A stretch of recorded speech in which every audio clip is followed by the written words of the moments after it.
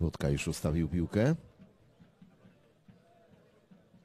Poszedł Jędrzejczyk na jedenastkę. Próbują zmieniać. Powinni biegać zawodnicy Widzewa. Został Mąka. Teraz!